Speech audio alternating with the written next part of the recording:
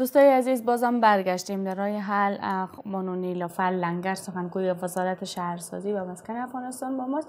بیشتر مشکلات زیاد داریم.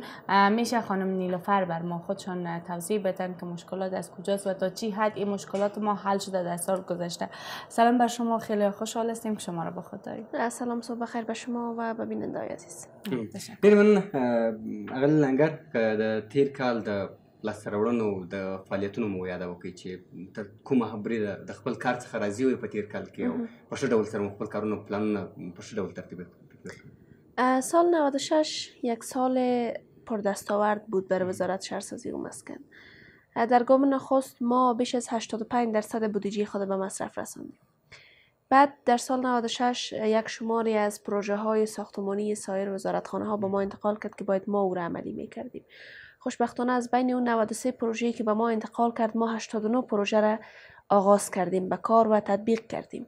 فقط چهار پروژه دیگه که تطبیق نشد به دلیلی بود که خود نهاد که صاحب پروژه بود زمین نداده بود به خاطر پروژهش.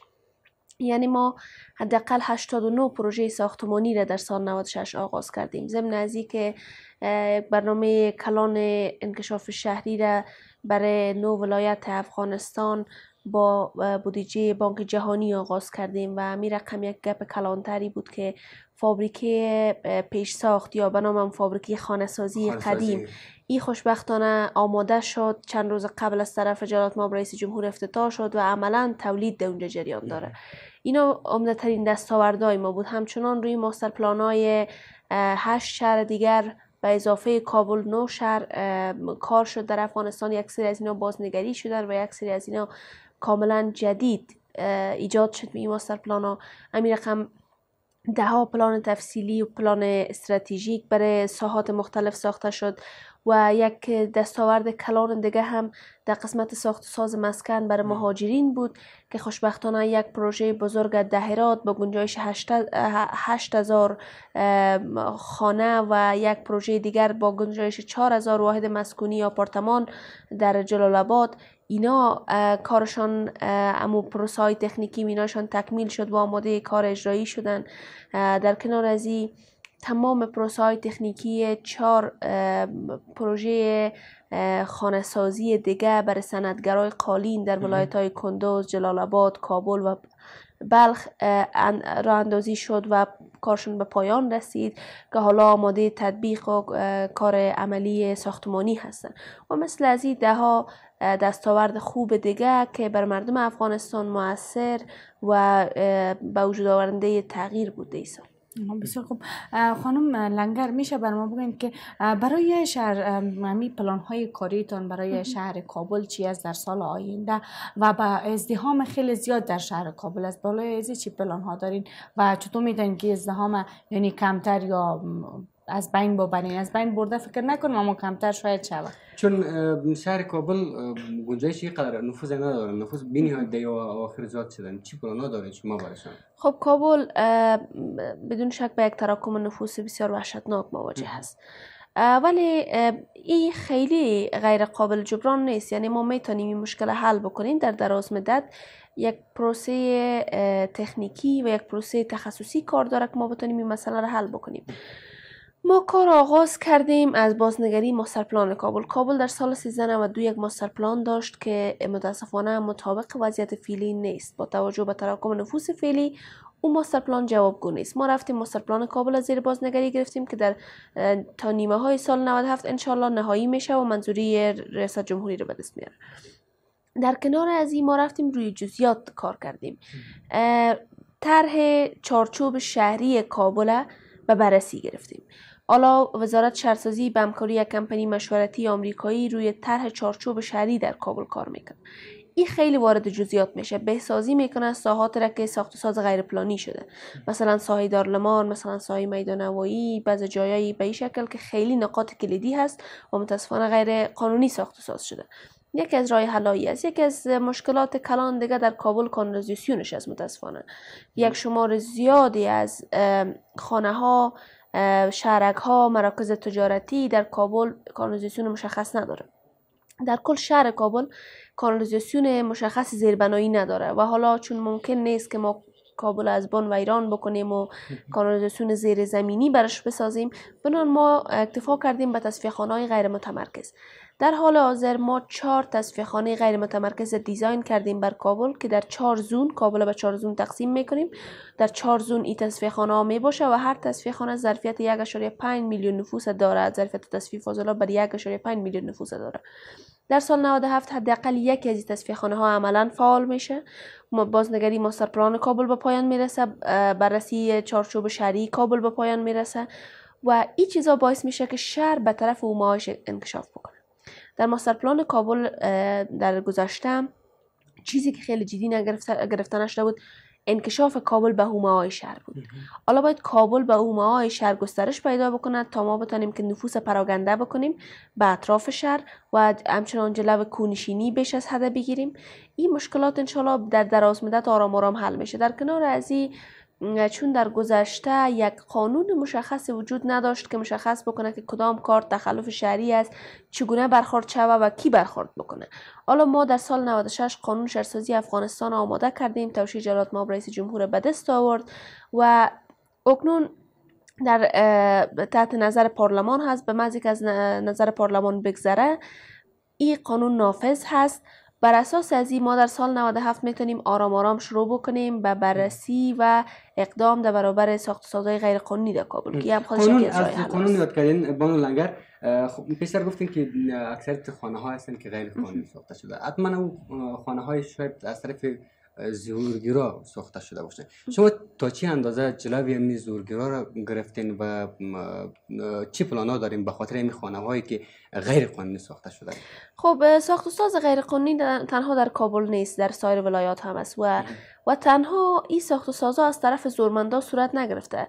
بوده که بدون شرک بوده شرک هایی که خانه هایی که مراکز تجارتی که از طرف زورمندا زمینش غصب شده یا در ساحه غیر قانونی ساخته شده.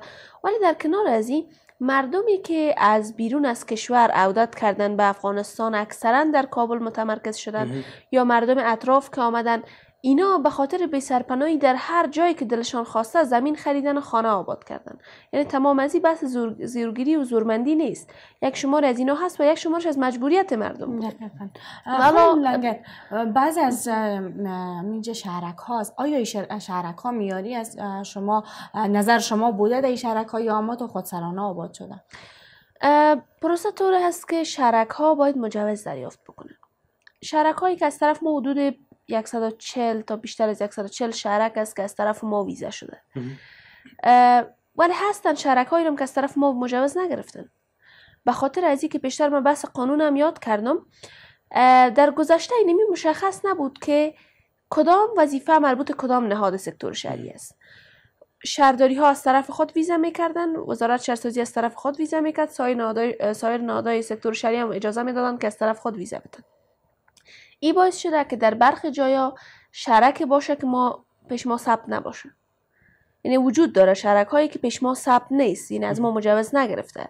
حالا وقتی قانون نافذ شوه ما با استفاده از قانون و مفصل که در قانون است به نام فصل تخلفات شهری.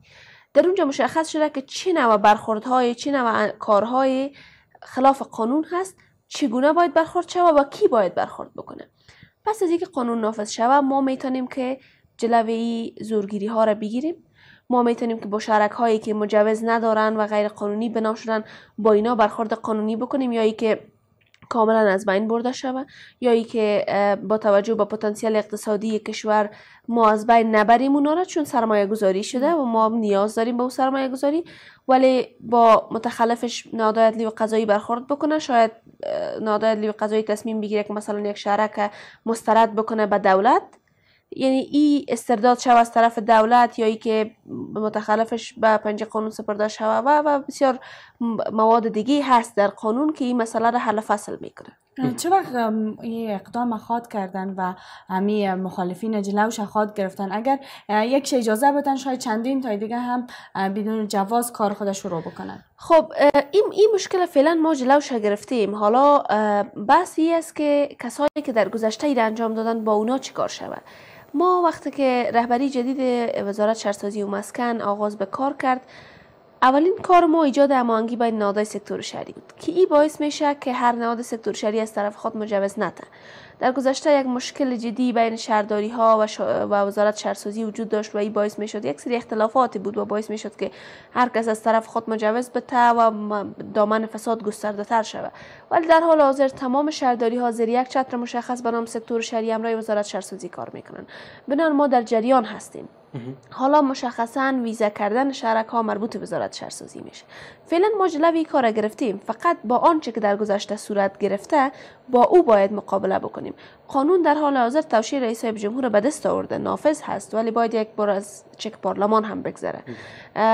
ما می‌تونیم با استفاده از قانون باز با اونایی که در گذشته متخلف بودن با اونا باز برخورد جدی تر بکنیم یو شی بل هم یاد وکړئ چې اکثرت سفارتونه د ښار په منځ کې دي د دې لپاره هم کوم پلان لري که نه لري ځکه زیاتره بیروبار زیاتره ستونزې همدې سفارتونه هم پیدا کړي دي. آیا کوم پلان داسې شته دی چې سفارتونه د ښار نه بیرون ووځي خب در مورد سفارت ها تا هنوز خیلی پلان جدی به خاطر نیست که اکثرا این سفارت ها زمین از خودشان است.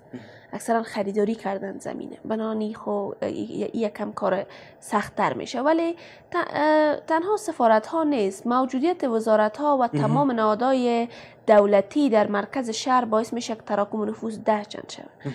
حالا پلان بر ای است که یک کمپلکس اداری بزرگ در دارالامان ساخته شود.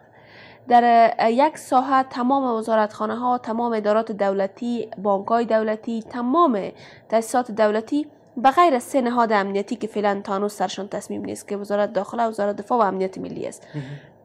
غیر سه نهاد امنیتی دیگه بر تمام وزارتخانه ها زمین در نظر گرفته شده پلان آماده شده. در سال 97 حداقل کار رسمی سه وزارتخانه در دارلمان شروع میشه. در حال حاضر کار وزارت عدلیه تقریبا به پایان رسیده در سایه دارلمان. در مو حواشی وزارت عدلیه سایر وزارت هم ساخته میشه. وزارت مالیه وزارت تجارت تمام وزارتخانه این باعث میشه که تمام نفوس دولتی به یک ساحه متمرکز شوه تراکم شهر کمتر شوه و همچنان سهولت بر مردم به وجود بیاید. وقتی که بر چند نهاد دولتی کار دارن در یک ساعت تمام شه پیدا می‌کنن. در یک دوره تمام کارشون خلاص میشه. مجبور نیستن که از شرق به غرب کابل به خاطر رفتن به سارنوالی وزارت داخله و مثلا لری پروتوسی متلار شو واقعا. ډیره مننه. سپاس از شما خانم لنگر سپاس شما همچنان. دوستای عزیز یک وقفه کوتاه داریم. بازم در ادامه برنامه با ما باشید.